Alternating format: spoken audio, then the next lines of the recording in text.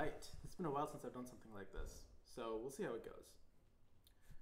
I've been having a lot of thoughts, unsurprisingly, but uh, maybe the most recurring thoughts are about the state of the tech ecosystem and how that kind of plugs into larger society. Maybe the better way to talk about this is to say that I feel like we're at a turning point in history. And that's almost certainly like because of how I started in tech. I started about a decade after the dot com bubble. And that was in 2010. And it was just a few years after the whole subprime mortgage crisis, the financial crisis. And what kind of happened is that the few survivors of that initial dot com bubble crash, and then the survivors, and then once they survived 2008, they became very, very confident. They developed a feeling that they were kind of unstoppable, right? Um, and the surrounding economic circumstances also kind of changed. We moved into a different paradigm entirely. Um, the Fed decided that the best thing to do was just to keep cutting interest rates. It was the first time in my life that you could get a 0% interest loan on a car. So it was, you know, the, the wonderful year of 2008. All these banks are going under, the insurance companies, all these, um, what were considered stalwarts of the private sector were going under, and the Fed decided the best way to deal with that was to get consumers to just go out and spend again because we were addicted to spending. And America is a kind of interesting country in this example because the American dollar doesn't work like other dollars, uh, doesn't work like other currencies around the world.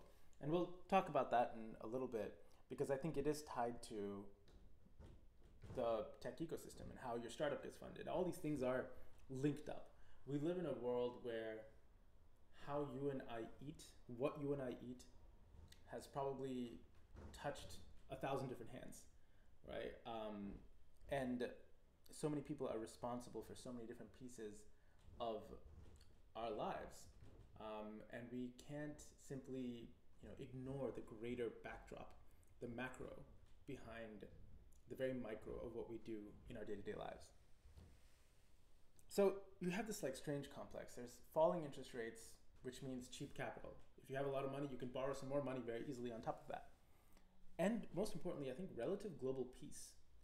Um, what happened recently is look, it's, it's September 2022, and right now, the Ukrainians are rolling into areas that have been held by Russia for the past few months.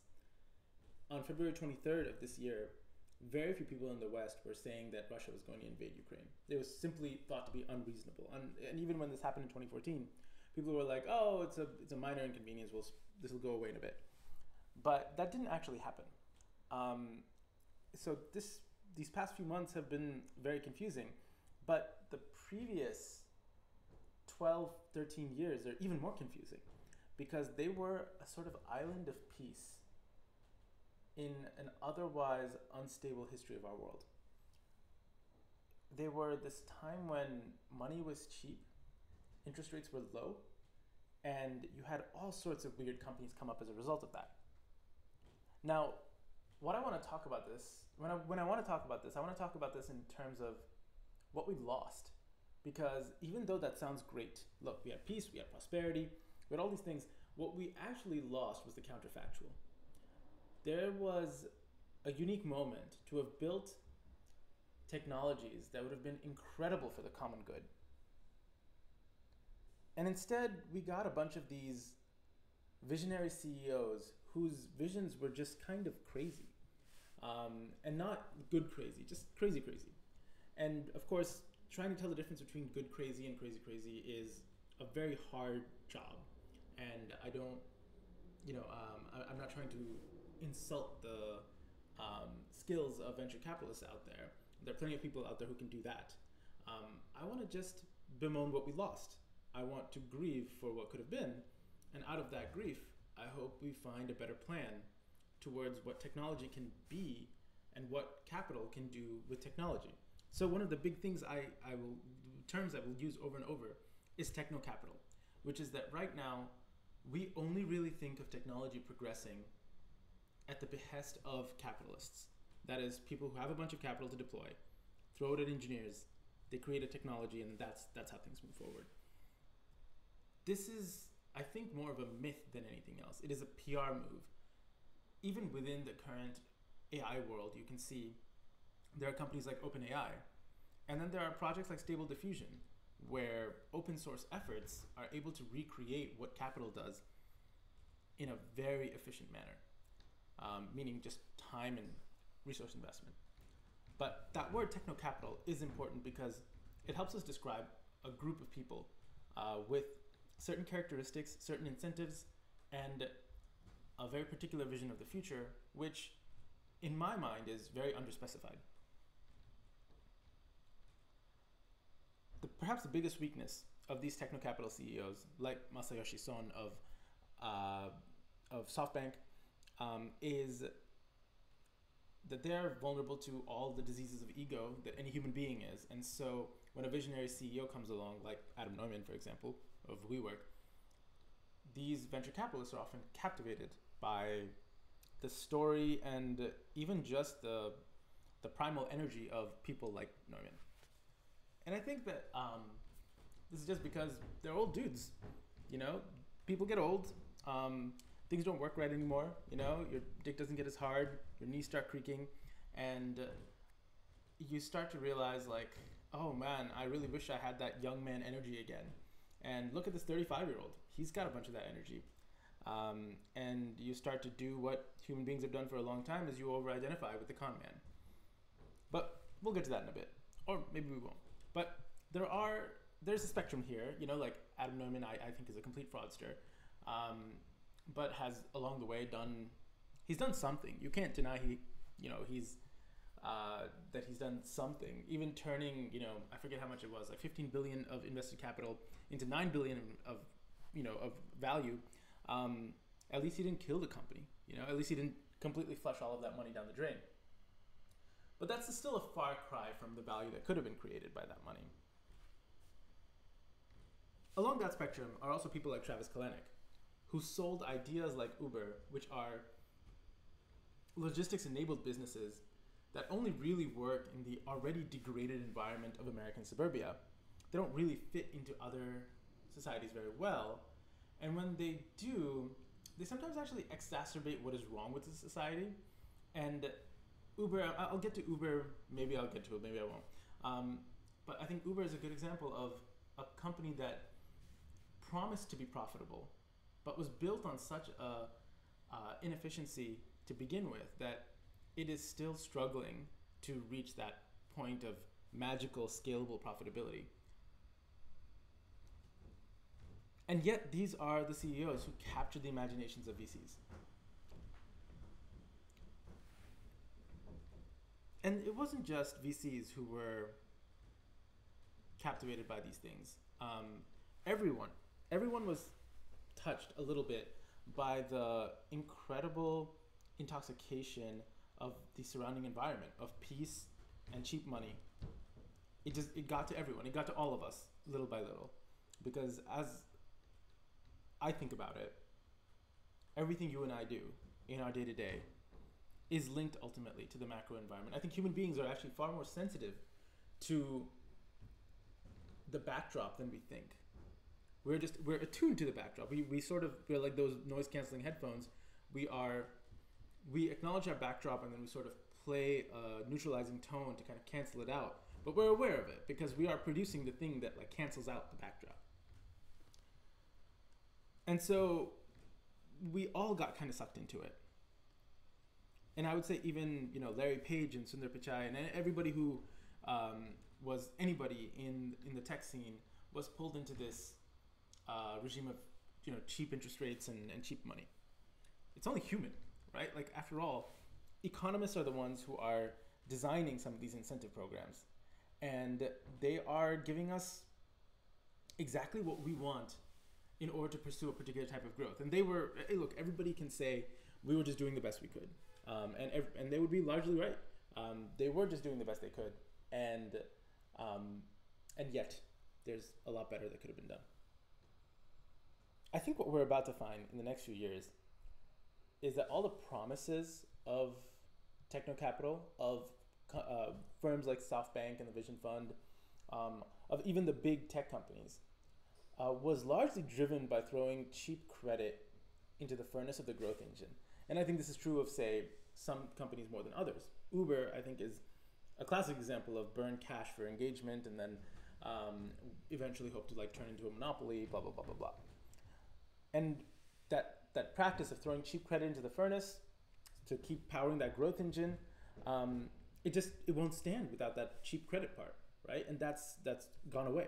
Um, it's not a matter of it's going to go away. Like we are no longer in that low interest rate world anymore. If you go out to get a mortgage now, you're looking at six percent interest rate.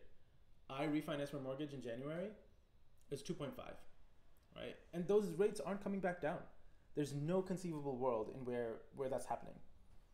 And what was most interesting is the CEO of Uber all but admitted that the business that was supposed to achieve this massive scaled up uh, success, um, that is like success once it has scaled up, um, it achieved scale, but it's not as profitable as they promised it was. And they're already starting to squeeze drivers uh, along the way.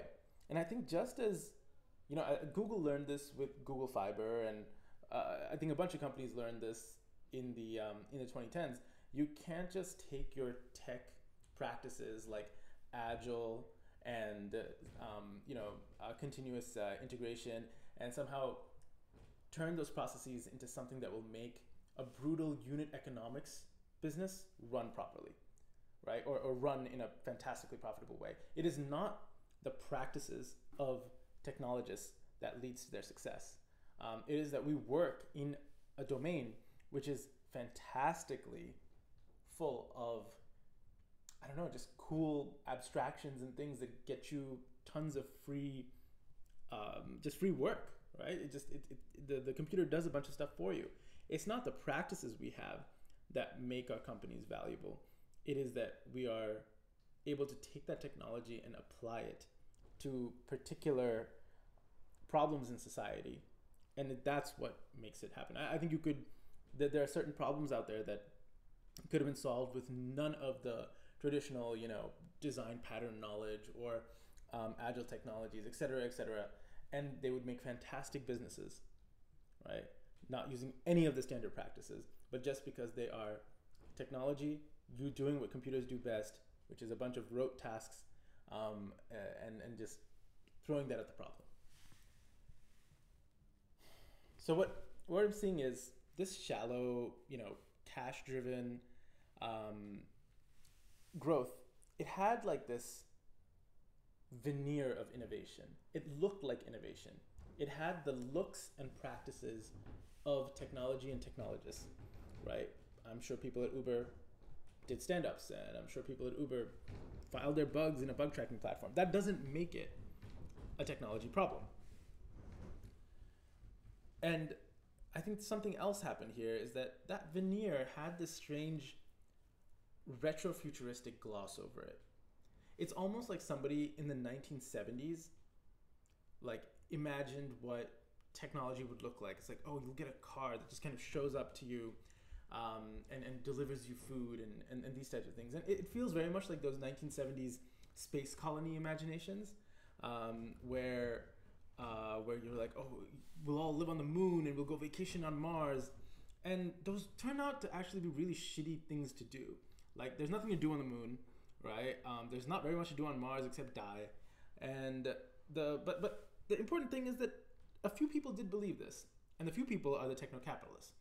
The the techno capitalists of the 2010s, they were actually so inspired by science fiction um, that, that they built these they built these things that were straight out of you know an Asimov short story or were you know inspired by Philip K. Dick or, or Arthur C. Clarke or whoever um, was the sort of foundational bit of that. The, the, the thing is, many technologists become technologists because they read something in sci-fi and they're like, "Damn, this stuff is cool," and I would like to do more of it.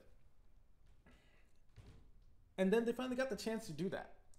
They built a bunch of these inspiring things, and they did it with little regard to the actual cash required to sustain these businesses right? Forget that part because again, cash was cheap.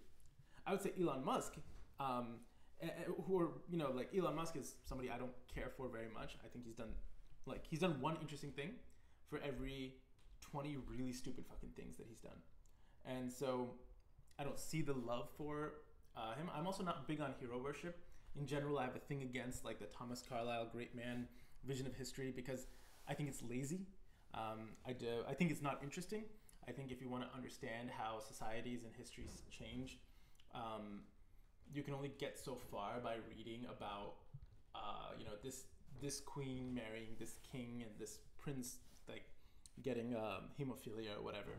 Um, at some point, you have to read about technology, right, and the actual movement and change in technology, and that is almost always a result of lots of different people getting together, not necessarily one heroic inventor going in and doing that, uh, going in and doing something that unlocks a bunch of um, progress. But the important thing is Elon Musk and whoever, you know, maybe I shouldn't pick on him, but whoever's the individual actually espousing the sci-fi future, like yeah, that doesn't really matter. Anybody who's espousing that sci-fi future. What matters are that the material forces that motivated these folks to invest in these businesses, that like the thing that made them think that those impossible dreams are possible. Um, and then a different set of material forces which like made those impossible dreams seem like good business ideas that's what we need to tackle i think the low interest rates of the past decade have been a complete brain rot for everybody involved. I think they've not just like degraded our sense of what's valuable and possible. I think they've also just kind of they've demotivated us. They've left us i think emotionally distraught because we want we, we, we, we want a little bit of struggle. We want reward but we also want to know that we're building something enduring. And we all value work like not just as a place for making money like that's important. But when money becomes this sort of um, ubiquitous symbol right um, devoid of all other once we have no longer you know common metrics for determining productivity or um, or even you know something as vague as technical coolness uh, technical progress, money making money um, just becomes this way for us to like connect to a larger sense of society, and that's a really bad way to deal with money. Money isn't really meant to be uh, a form of um, transcendental connection or a system of um, determining who has created the best thing. Um, money is a it's a medium, right? It um, you could easily end up optimizing for money and losing out on pretty much everything else. But I get ahead of myself. I think that we've lost a big portion of what work means because of the cheap interest rate environment. And I think that one of the fundamental things that actually gets people up and at work is because we we build we build things because we want to help each other. Um, this is one of my fundamental beliefs. I think that I get up in the morning and I don't think about my salary. I don't think about a lot of things, and I'm very privileged, right? Um, but I'm willing to bet that many people are not waking up in the morning and trying to do the calculation of how much they're earning that day. And they're not doing the calculation of how little they want to do in order to get away with making that money the most optimal way. If your base idea of a human being is someone always trying to maximize the value extracted for work put in, right? then you'll drive yourself crazy. You'll drive yourself crazy because every day you'll want to do stuff, right? You'll go to work and you want to do stuff maybe because just because it helps your coworkers, because it's a nice thing to do, because you like hanging out with them, because you like your project, because you want to get better at whatever skill you have. If you believe that you need to work as little as possible and make as much money as possible, then you'll optimize for a very particular set of optics that are going to make you miserable and will just kind of make everybody hate you eventually. So I'm fairly sure that a fundamental motivator of human beings since the dawn of time is this getting up, connecting to people around you, and helping them out. And I think cheap capital ruined that. I don't think we always needed these visionary CEOs to help us figure out what we were trying to build. I think many people actually knew. I think when bricklayers were laying down bricks for a cathedral, they could imagine the cathedral in their head. They might have seen another cathedral before, they might have seen, you know, pictures of it whatever it was, they managed to actually get the image in their head and they didn't need someone to motivate them continuously. I think when we start relying on these people, when we start relying on these visionary CEOs to paint us these these these images, we're essentially led into games of confidence. Where a company runs on the confidence in the central figure rather than the actual business underneath. Maybe that's how all startups work. I don't know, but I'm gonna take a pause here. Part two, some other time.